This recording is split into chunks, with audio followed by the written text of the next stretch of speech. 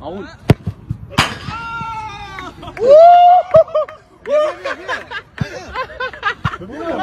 Kylian Mbappé weer terug in de basisplaats. Oh joh, deze man is weer back. Al die drama, alles. En nu is hij weer back. Hoeveel gaat Mbappé scoren?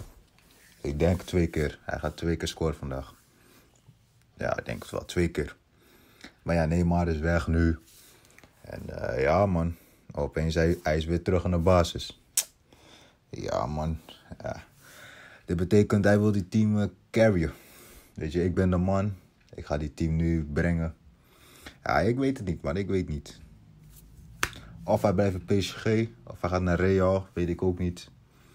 Maar ja, als ze, als ze hem die big money geven, hij blijft sowieso bij PSG. Dat sowieso. Ah ja, we gaan zien wel.